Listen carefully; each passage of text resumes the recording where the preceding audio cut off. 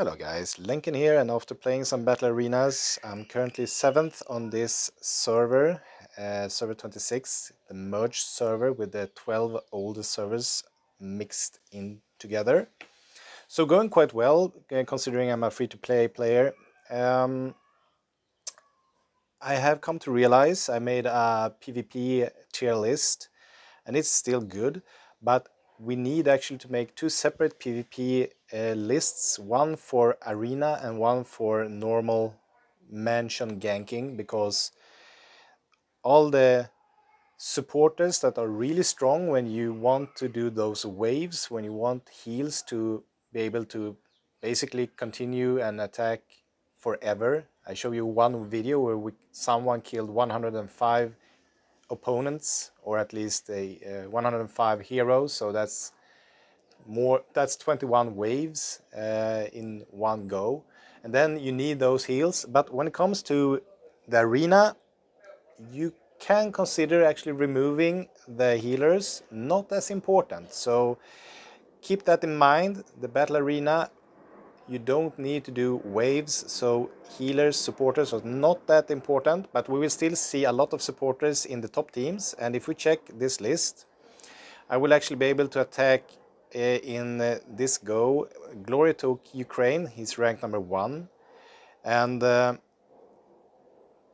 let's see, whom else? We will actually be able to attack Roro, that's is currently second. And then we have Hamster or Treat, that's currently sixth place. So we have actually three top players here that we can attack and I'm going to show you my set setup. It's currently this setup.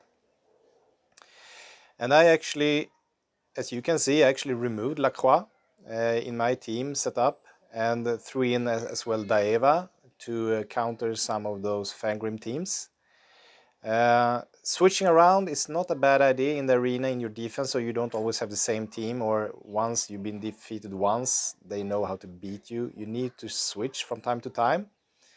Uh, with that said we're going to see that ranked 1 player currently has this setup and it's the Fangrim uh, typical team setup but he's actually using Dorian, really good counter against the Fangrim teams.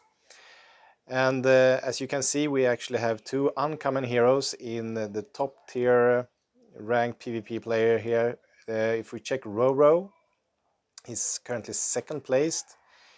He's using Birsha instead, besides the typical Fangrim team setup. He's, uh, he would hurt me here since he can rush towards Daeva in this case, for example. It's a really good, also an uncommon hero, really strong for PvP. And if we check Hamsta or Treat, that is currently 6th place ranked, well, we have the Fangrim team again with Dorian. So this is currently on our server at least. But we have a lot of strong players on this server. We're talking players with up to 24 million power. So um, it's uh, it's a strong server at least.